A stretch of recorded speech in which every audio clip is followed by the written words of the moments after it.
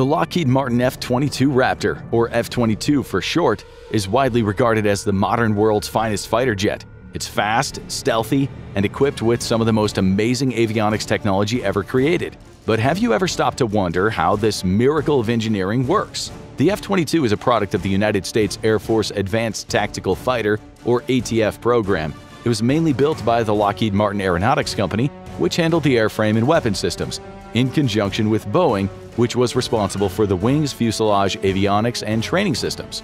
It's classified as a fifth-generation fighter, which means that it includes major technologies made during the early part of the 21st century, like agile airframes and advanced stealth capabilities. Fifth-gen fighters are, for the time being, the most advanced in operation, and we don't expect to see any sixth-gen models replacing them until the 2030s at the earliest. But despite being a modern-day marvel, the F-22 is older than you might think. It was first built back in 1996, and it took to the skies for the first time a year later in 97. The jet then underwent years of testing before it was finally introduced to active military service with the U.S. Air Force in 2005. Since then, F-22s have been deployed around the globe. They've been used to support missions in the Middle East, for instance, and in exercises with various NATO allies.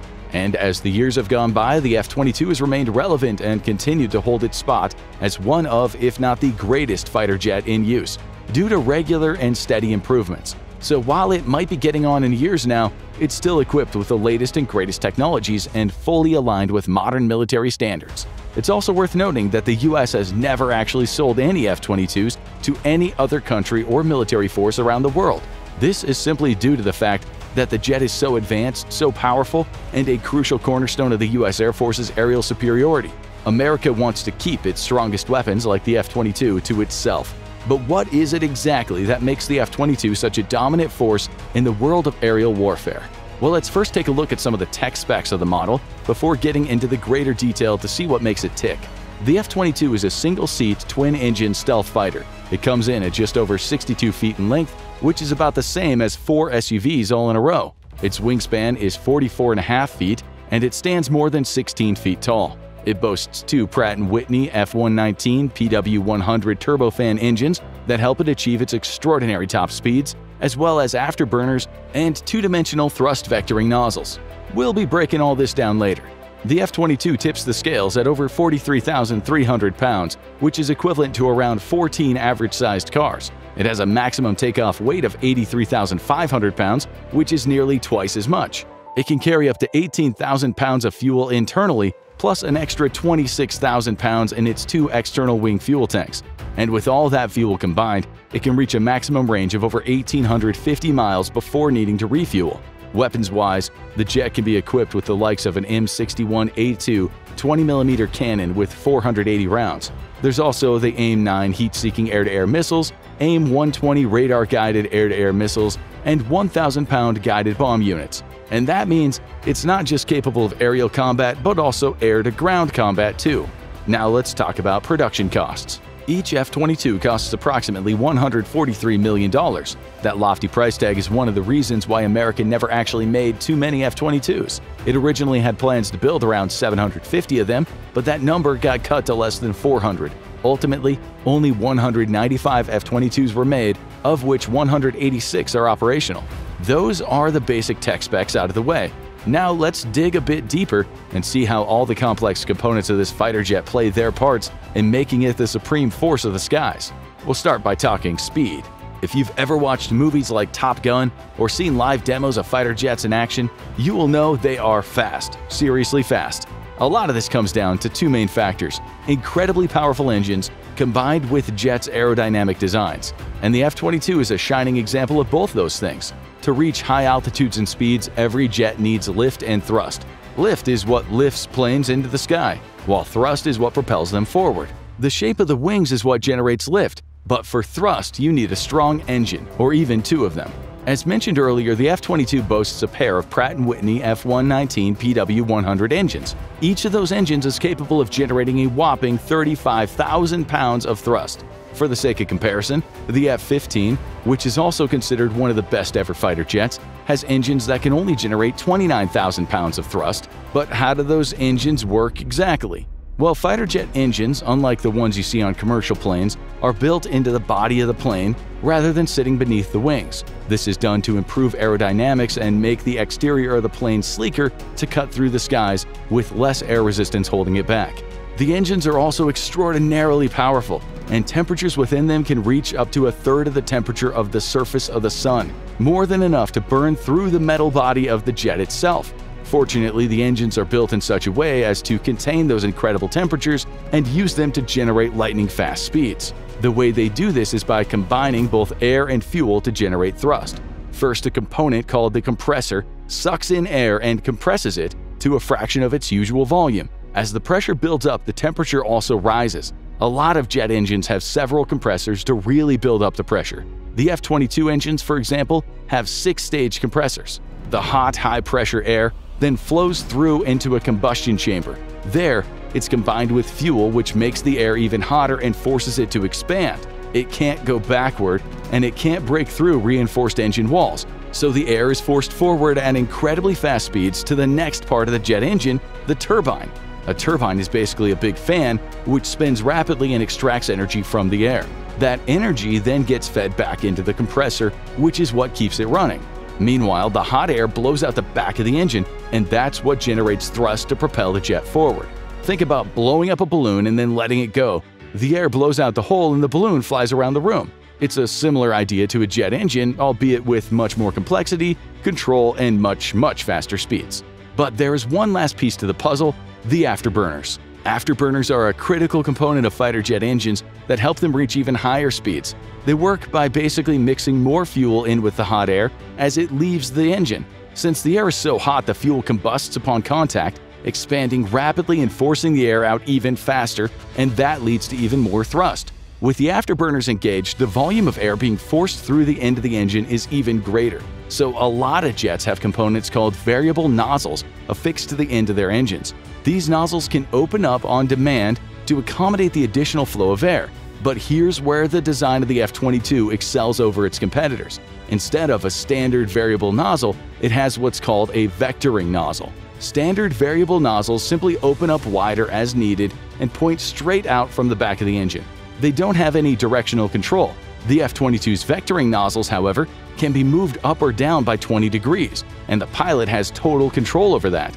That means that the pilot can control the direction of the hot air and gases leaving their engine at any time. If they turn the nozzle down, the gases will help push the aircraft higher up. Turn the nozzle the other way and they can guide the plane down more easily. Through this thrust vectoring technology, the pilot has much more control over the maneuverability and direction of their jet, even at the highest of speeds. In fact, the F-22 is much more maneuverable than most other fighters out there, thanks in large part to this system, and that gives it a major tactical advantage in air-to-air combat. Thanks to its incredible engines and phenomenal thrust levels, the F-22 can reach speeds above Mach 2. For reference, Mach 2 is twice the speed of sound, over 1,500 miles per hour. For comparison, commercial planes cruise at top speeds at around 600 miles per hour, while the fastest supercar in the world, the Koenigsegg Jesko Absolute, can reach a top speed of around 330 miles per hour. At its peak speed, the F-22 can cover more than 25 miles of ground in a single minute. And one of the most impressive aspects of this jet is that it can reach speeds greater than Mach 1.5 without the afterburners, which is around 1150 miles per hour. In technical terms, this is known as super cruising, and the F-22 isn't the only fighter jet capable of this, but it was among the first in the world to achieve this feat, and the first American jet to do so. The engines are the biggest providers of those stunning speeds, but the F-22 shape also contributes to this feature. Like so many of the world's greatest fighter jets, it was designed with speed in mind. Every piece of its construction was carefully planned out to maximize speed and minimize air resistance. The diamond-like wings, for instance, have a slightly curved upper surface and a flatter base, which helps to create a pressure difference above and below them. This is what generates the lift needed for the plane to take off and rise thousands of feet into the air. The unique shape of the F-22 wings also helps keep drag down while flying at supersonic speeds, so the jet doesn't need to use as much fuel to maintain acceleration. The shape of the fuselage or the body of the jet is also streamlined. It's narrow with a tapered point at the front, which effectively helps to pierce through the air, keeping drag to a minimum. It also reduces the impact of the shock waves that appear when the jet breaks the sound barrier. There's also the fact that the engines, as we mentioned earlier, are built into the body of the plane, not located under the wings. This too helps keep the drag down and reduces the overall surface area of the jet. Of course, speed doesn't matter all that much if you're unable to sustain it. And this is where the F-22 Super Cruise ability proves so useful. Turning on the afterburners consumes a lot of fuel, and it limits the maximum operating range of many jets. But since the F-22 can reach Mach 1.5 without afterburners, it's capable of traveling literally hundreds of miles without needing to refuel. It's also able to transport vast quantities of fuel for long-distance missions with both its internal and external tanks. But this isn't a commercial plane. It doesn't just need to go fast or far, it also needs advanced military and combat capabilities. And yet again, this is an area in which the F-22 shines brighter than almost any other fighter jet known to man. Let's talk about its stealth capabilities next. Military forces around the globe rely on radar technology to spot enemy aircraft, ships, and so on. Radar works by sending out radio waves and then collecting the waves that bounce back from the objects in the area. This information is then displayed on a radar screen where analysts look for any unusual objects. Radar has historically been very effective at spotting planes, like enemy bombers, well before they reach their destination or target. The radar waves bounce off the planes and then return to the receiver, with the planes showing up as large blips on the radar screen. In contrast, if the radar waves bounce off a small flock of birds, for example, they'll show up much less prominently on the display. In other words, the bigger the object, the bigger the blip on the screen. Fighter jets like the F-22 aren't exactly small, but engineers have worked hard over the years to make their radar signatures much smaller than you'd expect. They do this by essentially deflecting or absorbing some of the radio waves so they don't end up back with the receiving antenna. This makes the plane far less visible and more likely to be construed as something innocuous, like a flock of birds, rather than a deadly weapon.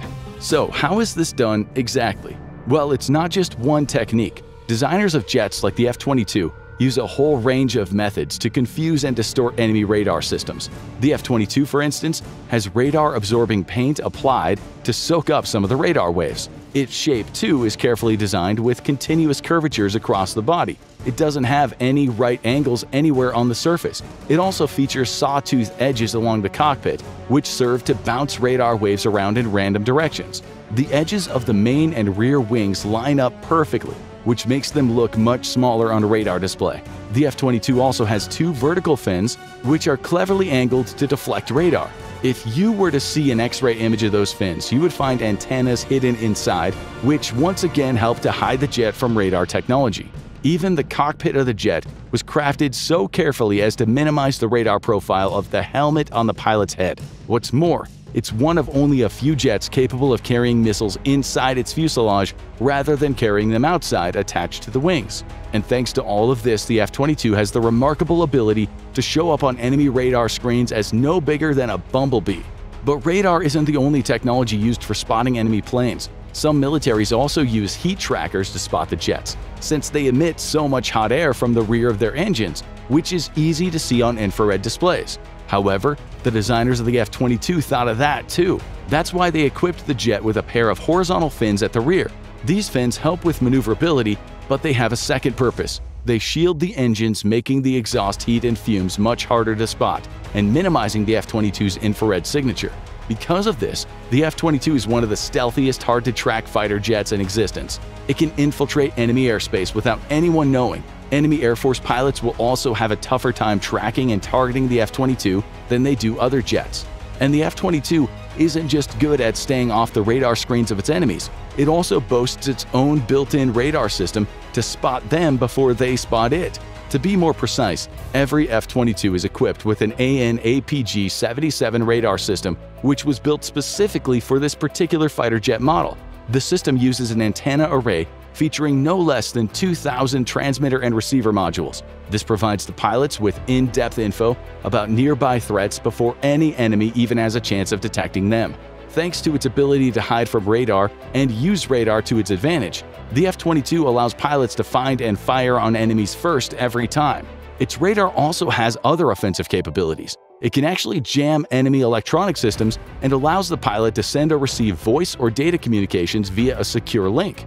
And as if all of that wasn't enough, the F-22 boasts radar warning receiver and missile launch detector systems too. So if any enemy radar-guided missiles or heat seekers lock onto the jet, the pilot will be made aware of the threat and deploy countermeasures like flares and chaff.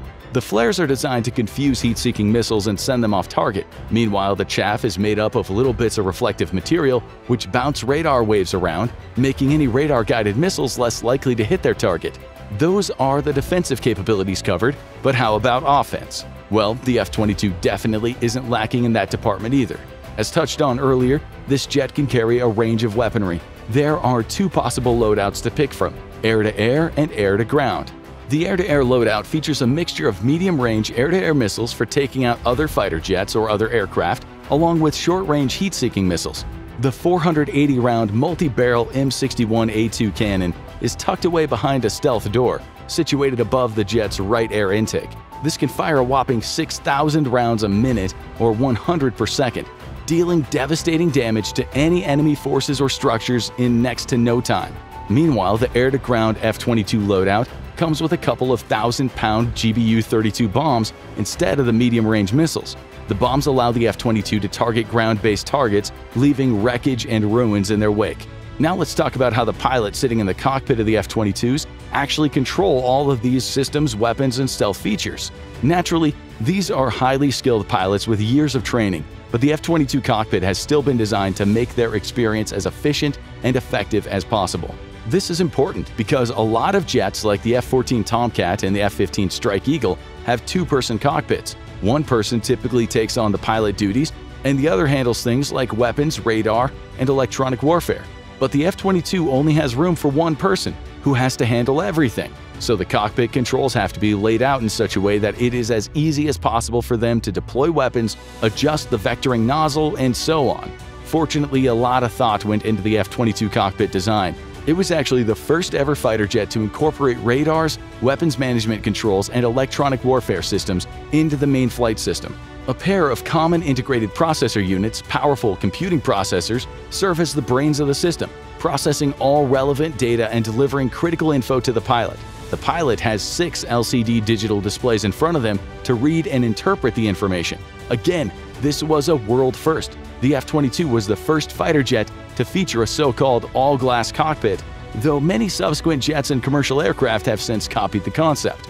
The displays show tactical views of the air and ground, tracking information and details of any nearby threats. It's almost like a video game display, with enemy aircraft appearing as red triangle symbols on the display, friendlies as green circles, and unidentified aircraft as yellow squares, which means it's unknown.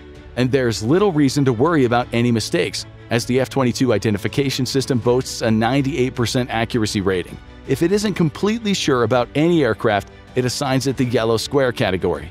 As the weapons lock on successfully to an enemy, the red triangle icon will fill in solid so the pilot can fire when ready and be almost sure of hitting their target. With all those displays, icons, and guides, F-22 pilots have all the info they need to make the smartest, most practical decisions at any given moment, right at their fingertips. Combine that with cutting-edge weaponry, state-of-the-art stealth capacities, and engines that break the sound barrier. And it's easy to see why fighter jets like this are the pride of the US Air Force. Now go check out Enemies Are Terrified of the New F-22 Replacement. Now we know why. Or click on this video instead.